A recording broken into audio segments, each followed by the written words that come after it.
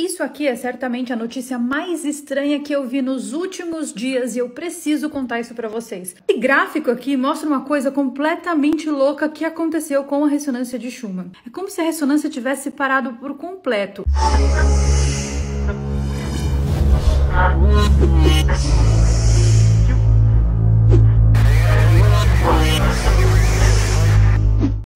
1966, um famoso cientista lançou um livro de 284 páginas com informações que impactariam todo mundo no planeta Terra. Só que antes que qualquer um pudesse ler esse livro, a CIA, sabe, a Central de Inteligência Americana, pegou esse livro, escondeu esse livro e classificou esse livro como sendo ultra secreto. Esse livro, que aparentemente tem um cunho religioso, é tão perigoso, mas tão perigoso, que a CIA manteve ele secreto durante 60 anos. E quando abriu, ou seja, quando o livro não era mais secreto, não abriu o livro inteiro, não, tá? Abriu apenas 57 páginas desse livro.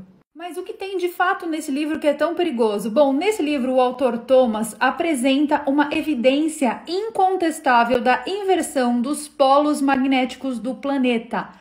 No livro, ele diz que essas inversões são cíclicas e que de tempos em tempos um cataclisma limpa toda e qualquer existência aqui do planeta Terra e obriga tudo a recomeçar. No livro, o Thomas fala que nós somos a sexta civilização a existir nesse planeta. Bom, talvez seja por isso que a gente encontra aqui no planeta Terra um monte de artefato estranho que não faz sentido nenhum com a história que a gente aprende nos nossos livros de história e principalmente com a evolução da civilização humana no planeta Terra. Mesmo assim, não faz sentido nenhum. Por que, que a CIA proibiria que nós tivéssemos acesso a um livro que aparenta ter um cunho religioso? Afinal de contas, Adão e Eva tá na capa. Porque, de acordo com o livro e de acordo com o cientista que comprovou a teoria que colocou dentro desse livro, a inversão dos polos ela acontece literalmente de um dia para o outro. É tipo, um dia você vai dormir e quando você acorda, o polo norte já é polo sul e tudo que você conhece deixa de existir. Porque a mudança dos polos varreu tudo o que existia no planeta. No livro, ele também descreve com muitos detalhes como tudo isso iria acontecer. E sério, gente, é pior do que 12 filmes de destruição de Hollywood que você assistiu. Então, assim, sério, não leia esse livro. O Dr. Thomas apresenta no livro uma sequência de eventos catastrófica que irá acontecer quando os polos se inverterem, que seria algo muito similar aos desastres narrados pela Bíblia durante o Grande Dilúvio. No segundo capítulo, ele comprova cientificamente a tese dele e no terceiro capítulo, ele apresenta evidências de que os polos magnéticos já estão se invertendo. Todas as culturas do mundo no planeta Terra possuem uma menção a esse desastre catastrófico que teria acontecido no passado, que nós conhecemos na Bíblia como sendo o grande dilúvio. Uma cultura falando sobre isso pode ser apenas uma história, duas, apenas uma coincidência, mas mais de 40 culturas no mundo falando sobre a mesma coisa, sinceramente, eu não acho que seja coincidência. Você sabia que a internet pode acabar a qualquer momento e a gente pode ficar sem internet por pelo menos um ano? Nas últimas 24 horas, aqui nessa rede e na outra rede, a rede vizinha, só o que tem aparecido para mim são pessoas falando sobre esse tal desse apocalipse da internet, que seria um período que o planeta Terra passaria completamente sem internet, onde nós voltaríamos para a Idade Média. Será que isso é verdade? Será que a gente realmente pode ficar sem internet? Por que, que as pessoas estão falando isso? Por que, que as pessoas estão falando que a NASA está alertando sobre isso?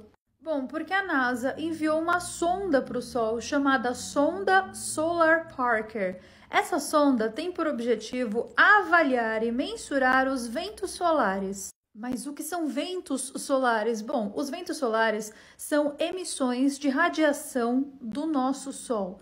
E de vez em quando, essas emissões podem atingir o planeta Terra. Vocês devem se lembrar que há poucos dias atrás eu noticiei que existem manchas solares do tamanho de quatro vezes o planeta Terra. Lembra? Pois é, uma coisa tem tudo a ver com a outra. Por quê? Porque de 11 em 11 anos a atividade solar fica aumentada e os riscos potenciais desses ventos solares atingirem a Terra aumentam e muito. E se esses ventos estiverem virados para o planeta Terra, se eles atingirem o planeta Terra em cheio, várias catástrofes podem acontecer ao mesmo tempo. Por quê? porque embora nós tenhamos o campo magnético do planeta que nos protege contra esses raios solares, existem algumas regiões do campo magnético do planeta Terra que estão com anomalias. Alguns estudos sugerem que faz parte da inversão dos polos magnéticos, mas a ciência não sabe direito ainda o que está causando essas anomalias. Além disso, um evento com a mesma magnitude do evento Carrington pode sim desestabilizar as nossas tecnologias aqui no planeta Terra. Não apenas a internet, mas sim também os satélites. E muitas outras tecnologias, como os nossos computadores, enfim, tudo que é eletrônico pode literalmente fritar se isso acontecer. Mas aí a pergunta: vai acontecer? Não vai acontecer? Por enquanto, nós não sabemos. Nós trabalhamos com hipóteses e são essas hipóteses que estão sendo usadas pelas pessoas para fazer esse alarde todo na internet por um assunto que é velho e antigo já e amplamente discutido. Isso aqui é certamente a notícia mais estranha que eu vi nos últimos dias e eu preciso contar isso para vocês. Você alguma vez já ouviu falar sobre ressonância Schumann? Primeiro, o que é ressonância Schumann? A ressonância Schumann é uma radiação emitida pelo planeta Terra que se forma na ionosfera e ela tem uma frequência super baixinha. Geralmente fica entre 7.83 Hz e pode variar até 13 Hz todos os dias. Traduzindo, seria mais ou menos como o batimento cardíaco do nosso planeta, que vibra em ressonância com o batimento cardíaco e com os cérebros de todas as criaturas que existem aqui nesse planeta. Esse gráfico aqui mostra uma coisa completamente louca que aconteceu com a ressonância de Schumann. A primeira coisa é que aqui, ó, nesse período aqui, que foi no dia 16 de junho, estava tudo normal.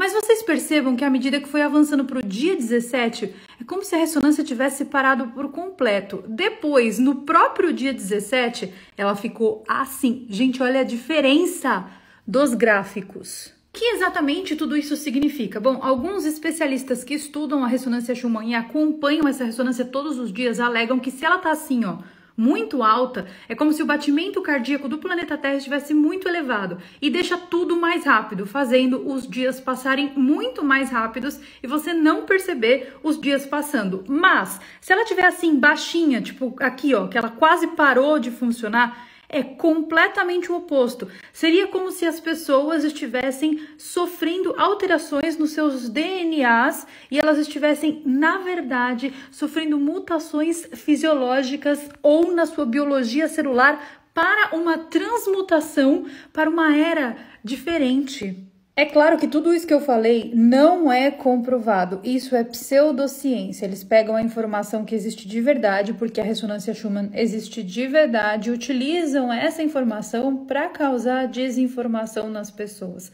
A ressonância de Schumann ela serve para medir a atividade eletromagnética do planeta. A cada um segundo aqui no planeta, 50 raios caem e toda essa atividade elétrica é medida por essa ressonância aqui. Agora, se isso causa alguma coisa no ser humano, se isso não causa, se isso tem a ver com avanço da consciência, uma elevação para uma nova era, elevação espiritual, tudo isso a gente não sabe.